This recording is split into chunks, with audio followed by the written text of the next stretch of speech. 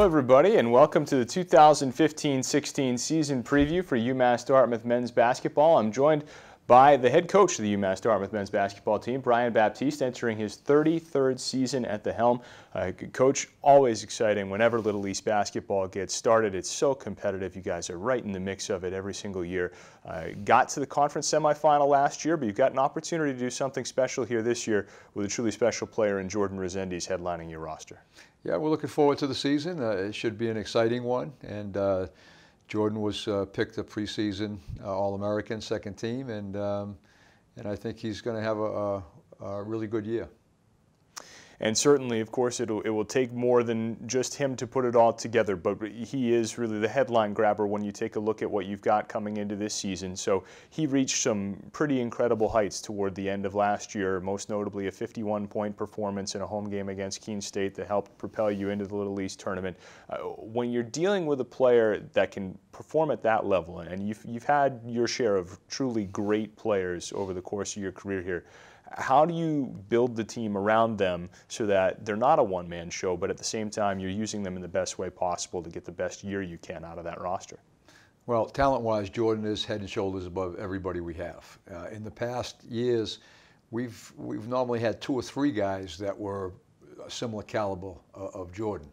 Uh, this year we don't have that, but with that being said, we have a lot of guys that are good role players that um, have a good amount of talent that we feel will play the other positions uh, on the floor and uh, be a good complement uh, to Jordan.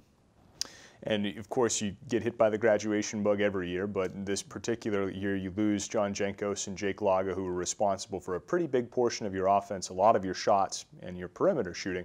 Uh, so, how do you go about replacing that big a share of the offense, and how do you keep the floor stretched uh, so that defenses have to respect the perimeter? Well, uh, John Robinson is uh, going to be one of our starters at the two guard position. He's a very good offensive player, and uh, he's going to pick up a lot of the uh, load that John and, and, Jake left behind. Um, besides him, uh, we're not sure where the other perimeter um, scoring is going to come from. I mean, uh, Tommy Keys is a, is a good three-point shooter. He's going to come in and, and uh, play his share of minutes. Uh, but the difference in this year's team as opposed to last year's team is the inside game. Mm. We have a, a 6'8 kid, a local kid out of New Bedford Voke, uh, who is surprising me at how well he's doing around the basket. He can score inside as well as anybody we've had in many years. So a lot of our scoring is going to be offset by him uh, close to the basket as opposed to what we had last year. Now, Jenkos led the country last year in three-point shooting with 51% from the, from the field, and he shot the ball a lot. It wasn't like mm -hmm. he mm-hmm. only took a few. Uh, so that's going to be hard to replace, but I, I do see uh, a really good percentage coming out of Nick in the paint because he'll be so close to the basket. Glad you mentioned the inside game. Let's dive into that a little bit farther because last year rebounding did become something of an Achilles heel for your team. There were some nights where you played really good games against really good teams but just couldn't get the ball back when you needed it. Uh, that Trinity game at the beginning of the year in particular stands out. That's a team that almost went to the Final Four and you were right there with them in the final minute of your game there. So, uh, you know, rebounding is tough to come by at all levels of the sport. Uh, but how do you try to get the personnel you need you know, to get those big rebounds in tough games? Well, like any year, we play our best players. That's what we try to do. We try to find a way so that our most talented players get the most uh, get most of the minutes. It just so happens that this year, uh, Nick is one of our uh, most talented big men, and he's six eight.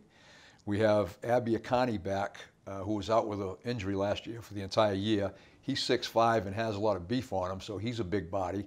And we recruited a kid by the name of J uh, Jaleel Moyes, uh, out of Brockton, uh, who played at Massasoit coming in as a junior.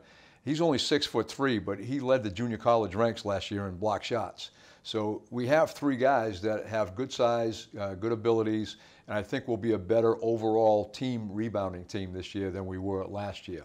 We also lost Wale, who was our defensive player of the year two years in a row. We anticipated him coming back because he's only played three years of basketball, but he'd been at school for four years. And we thought he would come back and uh, enter into a graduate program after taking three more additional courses to get his degree. But he was able to walk last spring, taking three, uh, three credit classes at home from Lynn. So now it's saving him all that money Uh, he's putting off Sure. graduate school, so that was a key loss for us. I mean, if we would have had him back, we would we would be so much stronger uh, also. But uh, we do have some good size this year, and uh, that should lessen the blow of not having him. And your season is coming upon us here pretty quickly, beginning in mid November, as it will every year with the Hampton Inn Classic, which is something over the last 15 years or so you've really made a mainstay here in Dartmouth. And you've brought in some quality competition this year with Mitchell, with Fitchburg, and with Springfield as well. So give us a little bit of a preview of that opening weekend and, and some of the opponents you're likely to see. Okay, we open up with Mitchell College. Um, like any year, when, when we decide who we're going to play, I look at who they graduate. You never know at that time who they're bringing in. So I thought that uh, Mitchell would be the best opponent for us. The other two teams uh, pretty uh, have been good in the past, both Fitchburg and Springfield. Uh, Fitchburg has a new coach. He's done a great job, great recruiting. Uh, he recruits all, not all, but mostly junior college kids, so he comes in as a veteran team right away.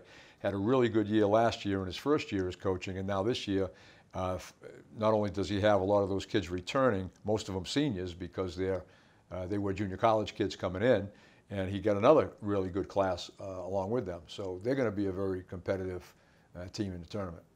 And lastly, I'll ask you about how things look within the Little East Conference landscape as Eastern Connecticut has really built something of a juggernaut here over these last few years. They're ranked in the preseason top 25 on d3hoops.com, but the conference tends to be top heavy every year, no matter who it is, or you're usually three or four good teams at the top.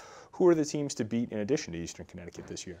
Well, I haven't seen uh, we do the poll and we get all the recruits and all the returning players, and that's a good way to anticipate who's going to have the best team. I haven't seen all those numbers yet, but just going by what I know from last year, I would think Keene would be very good because they have the seven footer back. Uh, Eastern Connecticut's already been ranked, so I know they're going to be pretty good. Rhode Island College had a, a very good team last year, and uh, I know a couple of kids that went there that we recruited, so I know they have some good talent that's what I know so far. I think those teams, along with ourselves, will be at the upper uh, portion of the league. All right, Coach, best of luck to you this season and looking forward to seeing you back on the court. All right, thanks, John. All right, it's Brian Baptiste, head coach of the UMass Dartmouth men's basketball team. Basketball teams will get it going on Friday the 13th with the Hampton Inn Classic.